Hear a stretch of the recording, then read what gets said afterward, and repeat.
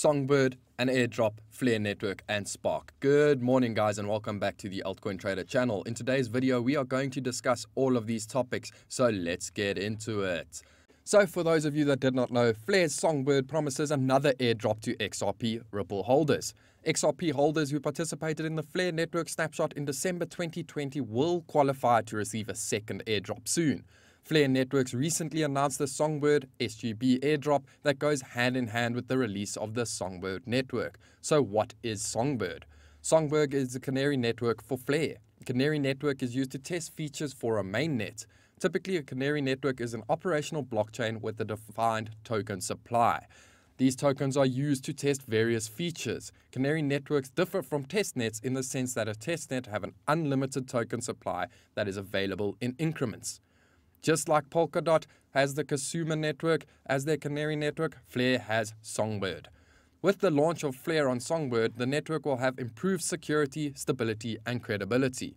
In the long term, Songbird will be used to test governance-led changes to the Flare network and dApps, decentralized apps, before it is rolled out onto Flare. The Songbird airdrop for XRP holders, let's get into that. With the launch of Songbird, Flare Network will airdrop SGB Songbird tokens in the next six weeks. Best thing is you don't have to do anything to qualify for the airdrop.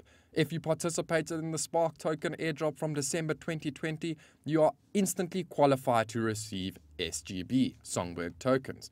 In December 2020, XRP holders who participated in the Spark airdrop were allocated one to one Spark tokens that will be distributed at a later stage.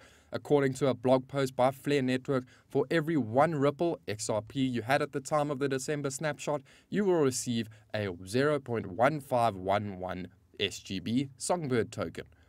SGB Songbird will have a total supply of 15 billion and they are used to perform a governance role.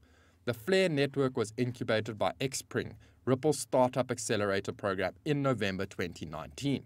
The network aims to make Ethereum smart contracts compatible with non EVM compatible networks such as the XRP Ledger. Flare will support XRP, XLM, LTC, and Doge. How to earn passive income from Spark. According to the blog post, Flare is expected to launch at the end of September following successful testing of all systems on Songbird. Until then, these are a few various ways you can earn passive income from your Spark airdrop. You can vote and earn rewards. There are two ways you can vote. Delegate your vote to a data provider of the FTSO, and if they are awarded, so are you. Or you can vote on governance issues that may directly or indirectly affect your Spark tokens. Another way to earn passive income is to stake your Spark tokens. Use your Spark tokens to provide collateral as an agent to the F protocols in return for passive income. You'll get paid in the underlying assets that are currently being minted, namely Doge, XRP, and LTC. You can a third way to do this is to provide liquidity to Flare Finance. Flare Finance is a decentralized finance, a DeFi ecosystem that will utilize smart contracts on the Flare network. Flare Finance will feature six products, three tokens, and a DEX decentralized exchange. Use your Spark tokens to provide liquidity to Flare Finance and ad earn additional income.